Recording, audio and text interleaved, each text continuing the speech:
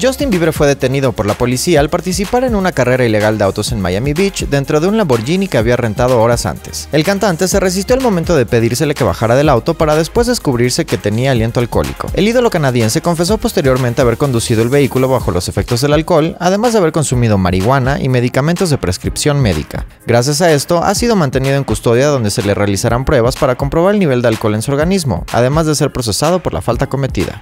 Un juez del estado de Florida ha determinado que la fianza que tendrá que pagar el intérprete de Beauty and the Beat para salir de la cárcel es de 2.500 dólares. El monto se desglosa en 1.000 dólares por la resistencia que impuso a su arresto, otros 1.000 por conducir bajo los efectos del alcohol y la marihuana, y 500 dólares más por tener su licencia de manejar vencida.